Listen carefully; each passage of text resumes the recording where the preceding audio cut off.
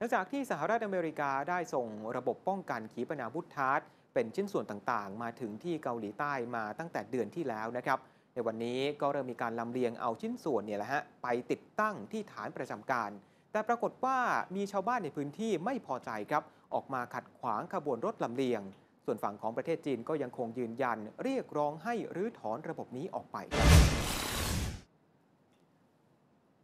รถบรรทุกทหารส่งส่วนประกอบขนาดใหญ่ของระบบป้องกันขีปนาวุธในบรรยากาศชั้นสูง หรือทาร์ตที่มีทั้งเรดาร์และฐานยิงขีปนาวุธแบบเคลื่อนที่ ไปติดตั้งที่สนามกอล์ฟเก่าในเมืองซองจู ทางภาคใต้ของประเทศ ตั้งแต่ช่วงเที่ยงคืนที่ผ่านมาตามเวลาท้องถิ่น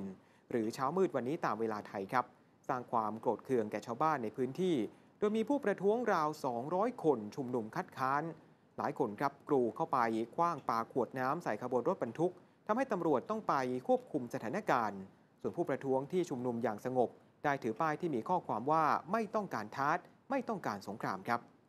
ด้านกระทรวงกลาโหมเกาหลีใต้คาดว่าจะมีการทดสอบการใช้งานของระบบนี้ ได้ในช่วงต้นเดือนหน้าครับ พร้อมกับให้ความมั่นใจแก่ชาวบ้านว่ากองทัพเกาหลีใต้และสหรัฐ จะจัดการประเมินผลกระทบด้านสิ่งแวดล้อม และดำเนินการก่อสร้างในส่วนที่เกี่ยวข้องกับการติดตั้งระบบทาร์ตตามกำหนดการที่วางไว้ นอกจากนี้สื่อเกาหลีใต้คาดว่าระบบทาจะสามารถปฏิบัติงานจริงโดยสมบูรณ์ได้ภายในสิ้นปีนี้ครับ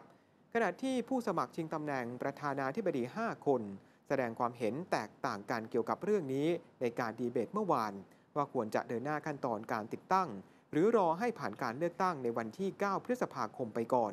โดยนายมุนแจอิน ผู้สมัครจากพรรคมินจู ที่เป็นตัวเก่งอันดับหนึ่งคัดค้านการติดตั้งฐานครับ ด้านโฆษกกระทรวงการต่างประเทศของจีนแถลงวันนี้ครับเรียกร้องให้สหรัฐและเกาหลีใต้หรือถอนระบบทาร์ตออกไป